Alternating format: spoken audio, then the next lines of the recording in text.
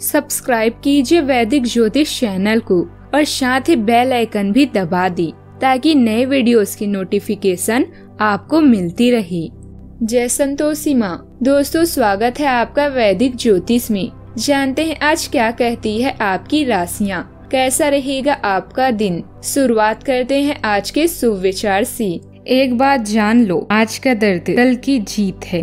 ज़िंदगी में अगर बुरा वक्त नहीं आता तो अपनों में छुपे हुए गैर और गैरों में छुपे हुए अपनी कभी नज़र नहीं आती। जब जब आपके खास लोग दूर होने लगे तो समझ लीजिए कि उनकी जरूरतें पूरी हो चुकी। ज़िंदगी में हुई मुश्किलें भूल जाओ, पर उनसे मिली शिक्षा कभी नहीं भूलना।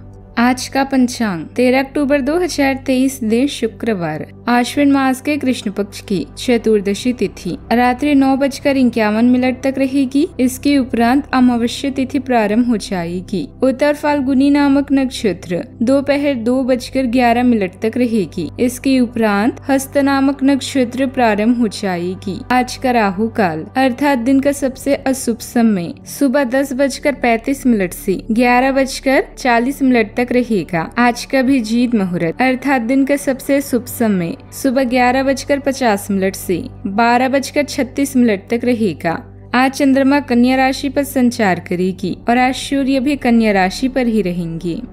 सिंह राशि, तेरह अक्टूबर 2023 दिन शुक्रवार।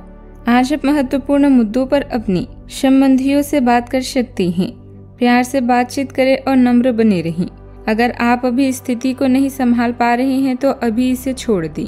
अगर मूड हल्का करना चाहते हैं तो शाम को किसी समारोह में भाग लें। आध्यात्मिकता और विश्वास पर फोकस करने से आपको सहायता मिलेगी। सिंह राशि के लोगों के लिए यह दिन बेहद शुभ रहने वाला है। सोचे हुए काम समय पर बनते नज़र आएँगे। विद्यार्थियों तथा युवाओं को करियर संबंधित किसी समस्या का समाधान मिलने से शांति मिलेगी। कोई आर्थिक योजना फलीफूत होने से मन प्रसन्न रहेगा। अकेले रहने की वजह से निराशा होगी।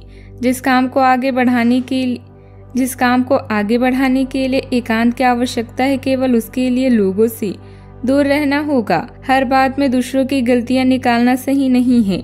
कटुता की वजह से रिश्तों में दिक्कतें आएगी। आपका पार्टनरशिप दूसरों के लिए महत्वपूर्ण होगा। आपको काम की जगह नेतृत्व करने का या दूसरों को ट्रेनिंग देने का मौका मिलता है तो इसे स्वीकार ज़रूर करें। रिलेशनशिप से जुड़ी गलती की ज़िम्मेदारी लेना सीखें। निराशा की वजह से सेहत को नजरअंदाज ना करें। सावधानियाँ।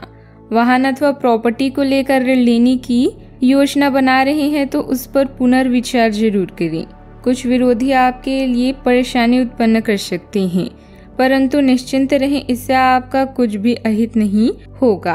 अगर कहीं लंबी दूरी की यात्रा का प्लान बन रहा है तो उसमें कुछ व्यवधान आ सकते हैं। बात करते हैं लव लाइफ की। जीवन साथी के साथ किसी बात को लेकर तकरार रह सकती है। उचित तालमेल बनाकर रखें, प्रेम संबंधों को लेकर कुछ मनमुटाव भी रह सकता है। आप जितना समय अपने पार्टनर को देना चाहते हैं, अपने व्यस्त शेड्यूल तथा कई बाहरी कारणों के चलते उतना समय नहीं दे पाएँगी। आपका अधिकतर समय अपनी प्रोफेशनल कमिटमेंट पूरी करने में ही निकल जाएगा। अपनी भावनाएँ अपने पार्टनर को बताना ना भूले और आप पाएँगे कि वह आपकी सोच से भी कहीं अधिक समझदार है। बात करते हैं करियर की। आज आप अपने सहयोगियों और ग्राहकों के साथ बेहतर संबंध बनाएँगी। आज कुछ ऐसा करने के लिए भी दिन अच्छा है जिसमें आपके प्रभावशाली कौशल की आवश्यकता हो। हालाँकि जो लोग बीमार हैं वो लोग घर से काम शुरू कर सकते हैं। इससे अप्रत्याशित रूप से आपके काम की गुणवत्ता में सुधार होगा और इस समय की बचत भी होगी, जो यात्रा में बर्बाद हो रहा था। व्यवसाय की दृष्टि से समय अच्छा ही रहेगा, हालाँकि मार्केटिंग से जुड़ी छोटी मोटी परेशानियाँ रहेगी, लेकिन आपकी गंभीरता और संजीदगी से उस पर काम करना आपको परेशानियों से निकाल भी देगा। सरकारी सेवारत लोगों को किसी परेशानी से राहत भी मिलेगी। बात करते हैं सेहत की। डायबिटीज़ रोग, नियमित जाँच करवाएँ। लापरवाही नुकसानदायक रह सकती है, परंपरागत इलाज बेहतर रहेगा। देखा जाए तो आपको अपने दिमाग को लचीली स्थिति में रखना चाहिए, लेकिन आज आप पुरानी बातों को याद करते रहेंगे और न तो अपने मन की बात सुनेंगे और न ही किसी की अच्छी सलाह मानेंगे। आपके इस जिद्दीपन से घर और ऑफ़िस में कुछ तनाव पैदा हो सकता है, इसका एकमात्र समाधान यह है कि अपने दिमाग को खुला रखें और दूसरे लोगों की भी बातें सुनने और समझने की कोशिश पूरा करें। आज का उपाय, गरीबों को आज दान पुण्य करें, चावल का दान अवश्य करें, शुभ रहेगा। दोस्तों, वीडियो को लाइक शेयर करना ना भूलिएगा। मिलते हैं अगली वीडियो में। जीवन में हमेशा सकारात्मक सोच के साथ आगे बढ़ते रहें। आपका दिन शुभ हो।